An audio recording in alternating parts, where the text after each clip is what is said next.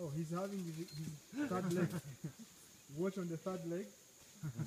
Standing his maybe he's expecting something soon.